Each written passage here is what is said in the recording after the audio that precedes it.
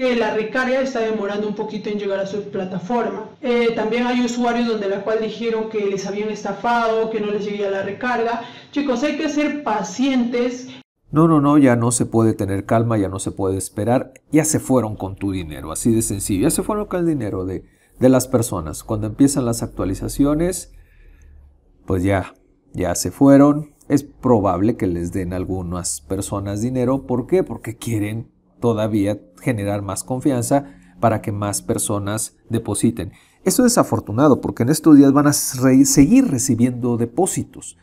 Esto ya pasó. Si tú no me crees, ve y busca disco solar. Hoy precisamente les prometieron que les pagaban ya sin falta, después de actualizaciones, después de retrasos en los pagos y pues ya no les pagaron. Hoy ya no les pagaron oficialmente, ya los estafaron este día.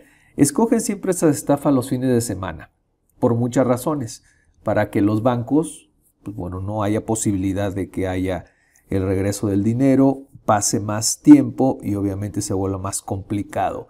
Déjame en los comentarios qué opinas. Esto ya se fue, insisto, ya es una estafa probada.